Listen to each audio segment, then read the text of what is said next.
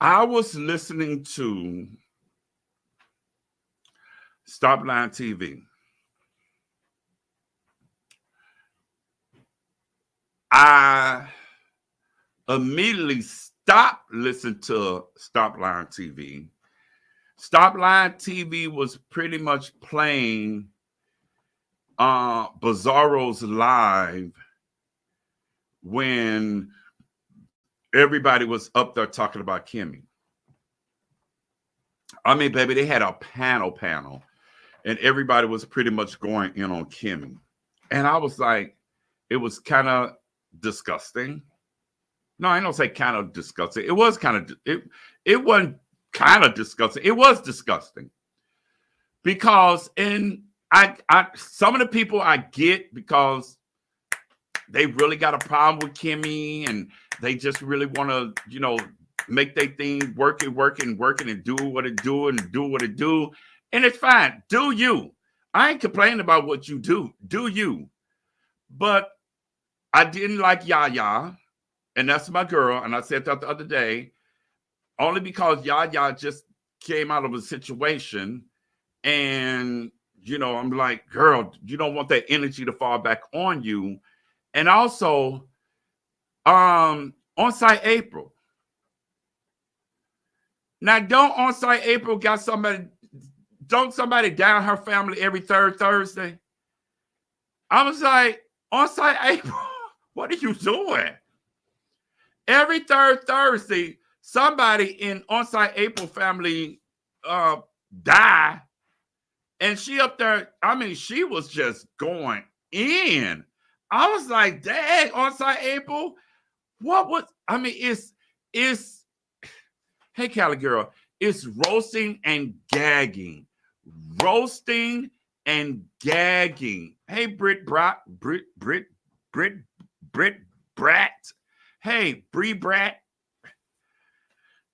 It was like, girl, it's roasting and gagging, but now y'all want people to be dead.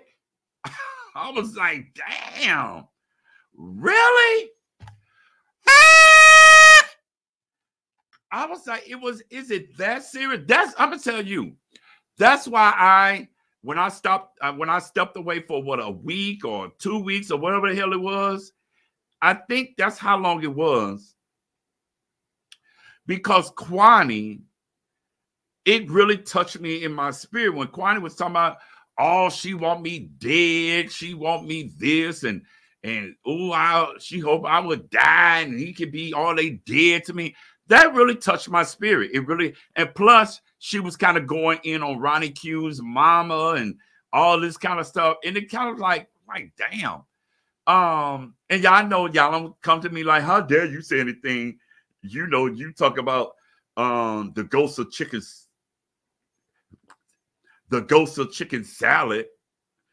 I was like, yeah but it was a difference in in Kwani's delivery because y'all know Kwani, honey, Kwani could deliver some blows, baby. But that touched me that time when Kwani was talking about, oh, bitch, I would, die. I hope you would die. And I actually called Kwani.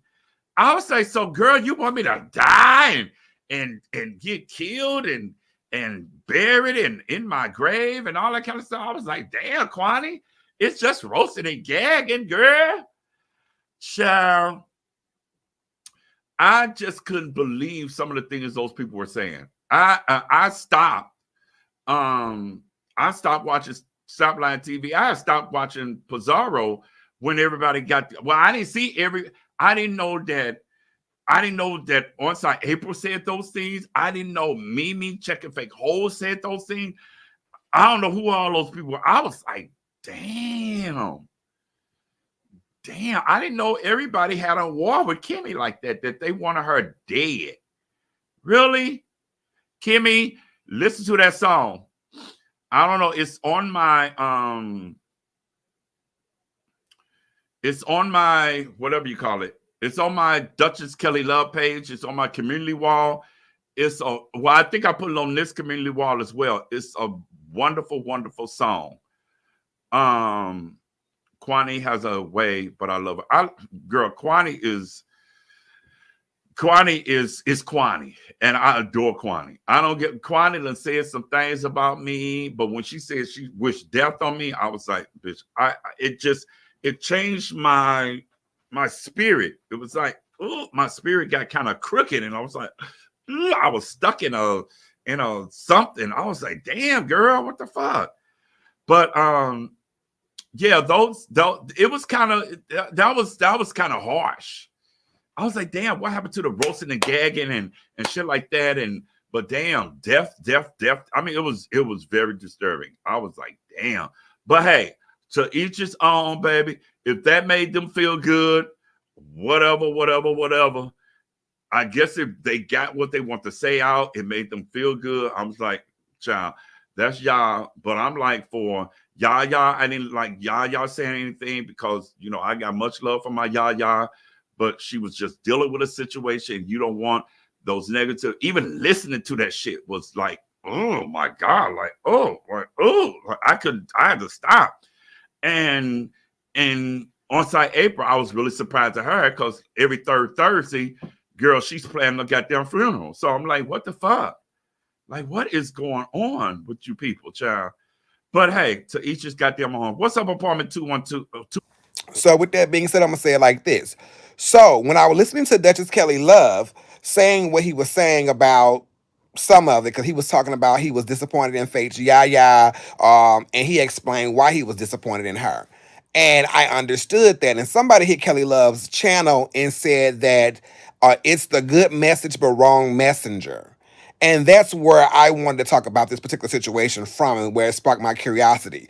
Because when it comes to suicide, there is never a wrong messenger when it comes to suicide. Now, are there cases where there is um right message wrong messenger yes case in point if someone is an abuser but then gets on here talking about um, we need to stop abusing people, but they are a habitual abuser. That's right message, wrong messenger. But when it comes to suicide, is anyone ever a wrong messenger when it comes to suicide? No, because everyone is going through something somewhere. Okay, everyone is. Um, people are vulnerable now. People have the right to say where um it was the wrong time because this year is where people where suicide rates are the highest. Well, this is the perfect time to talk about it. Okay, because you might stop somebody from committing suicide um and stuff like that. So I was going on the point to where there is never a wrong messenger when it comes to um somebody talking about preventing suicide. There is never a wrong messenger. As a matter of fact, the perfect messenger is someone that was there, someone that was on the edge. Some that was that's the perfect messenger to someone that was at the precipice but was able to pull themselves back. Either somebody pulled them back or they pulled themselves back or it was a joint effort. So that is the perfect messenger. Now, I personally don't know what anyone outside of Shawn Bradley goes through. Okay. Um, are we fucked up towards each other on here? Yes, we definitely are fucked up towards each other on here. Um, but at the end of the day, when it comes to us being fucked up to one another, it is the so-called beef sector. Um, as as far as I'm concerned, people like all's fair. It is fair. Um, but I feel as though when Kimmy was talking about her suicide, is that's what she was talking about, because I did not see it, um, is that's what she was talking about, I feel as though that was for her and her people. Um, people being upset about um Kimmy receiving cash apps or things like that why would you be upset about that when that message is not for you? That message, I think, was for her and the people that rock with her and the people that support her. We all have people that support us. We all have people that watch us that don't support us. But if you feel like that message touched you in a certain way, in a good way or a profound way, that was for you. So it's never a wrong messenger. Now, does Kimmy have a plethora of enemies on this motherfucker? Yes, she motherfucking does. Um, do we all have a plethora of enemies on here? I would say we do. It is what it is. Uh, but it, that comes to your individual self. To where if, if if a bitch you don't like was like I'm I'm suicidal. Okay. Okay. You know what I mean? And that that's me all day, every day. Okay. Because it's a bitch I don't fuck with. But I'm not gonna, I'm not gonna dwell into that. I'm not gonna pick that up and carry that. But that's just me. Speaking to the people that fuck with me and rock with me and love me and care for me. Okay? Because anybody else can do what the fuck they want to do. But my thing is, it's like again, Kelly Love was like, face Yaya apparently, from what I understand, was just just got out the hospital.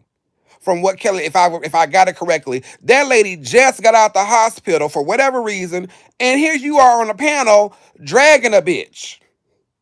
Uh, you could be going back. So it's things like that, and I was like, so I understood where he was coming from. I agree with you, Shawn, but I think the uproar is that the person um told people to off themselves before. We all have. I mean, we all have.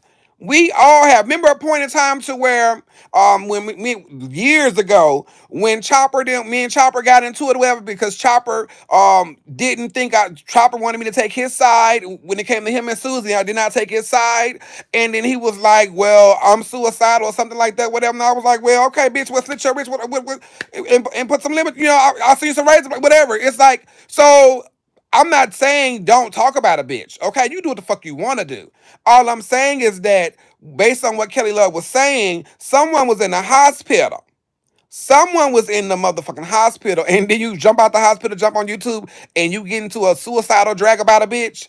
Ooh, it's kind of morbid. It's kind of speaking your own demise into existence, especially if one for the grace of God, there go I just a few seconds. You know what I'm saying? So it's shit like that that be happening.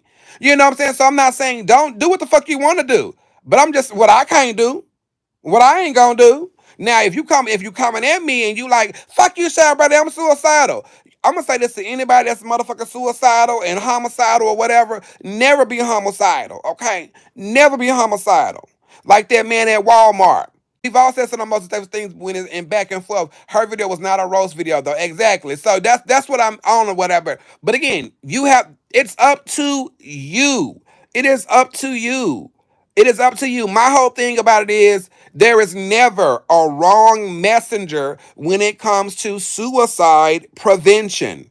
There is never a wrong messenger. In this video, my message was not about suicide prevention. It was about homicidal prevention. If you feeling, if you feeling like you got a tick tick boom and you want to tick off everybody else, then boom yourself. No, bitch. Skip the tick and go straight to the boom. Okay?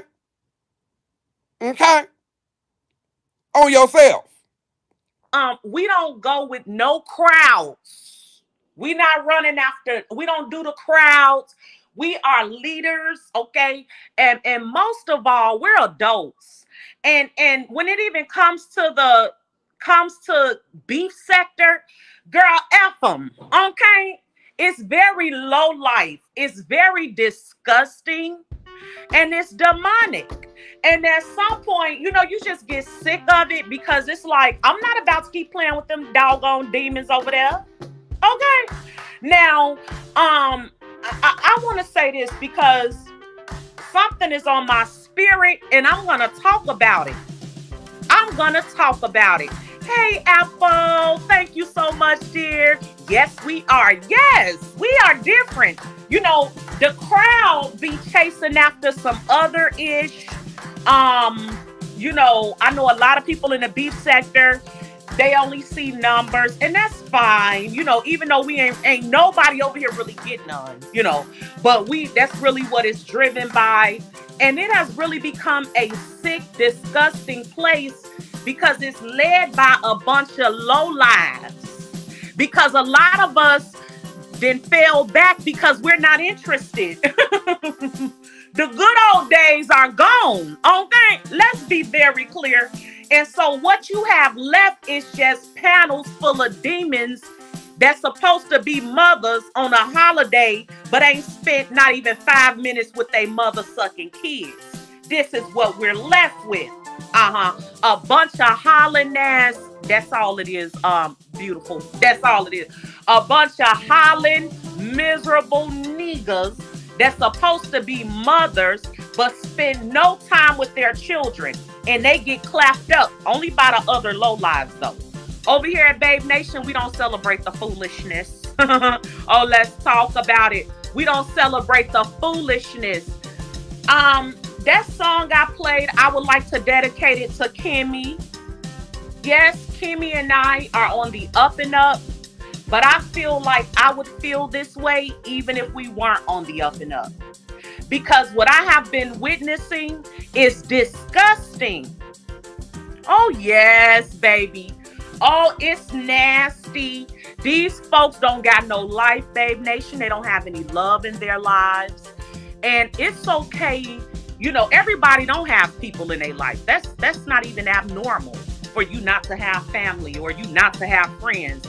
Truth be told, that's not even abnormal. Okay? I know society and Instagram and shit make you want to feel like if you're not surrounded by 10, 10 girl, 10 females or 10 best men, and if you're not on vacation every weekend, and if you're not living in a big old house, and if you're not married, and if you don't got this and don't got that, you ain't on shit. But the reality is, it's a lot of people out here who don't have nobody. Oh, we're gonna talk about it. we're gonna deal in reality today because this sector does not deal in reality at all. The reality is it's a lot of people that don't have nobody. Oh, let's talk about it. It doesn't make them strange, it doesn't make them wrong, it doesn't make them weird, it just makes them normal. Give me a second, let me drink. Been listening now. I haven't heard what Kimmy said for myself. I didn't hear Kimmy say it. I did go and look for it I couldn't find it. But it's enough people out here talking about her to let me know what she said, okay? That's the part. The, the fact that it's so many people out here talking about her, it's so many people out here making jokes about it, as if have as if suicide isn't real.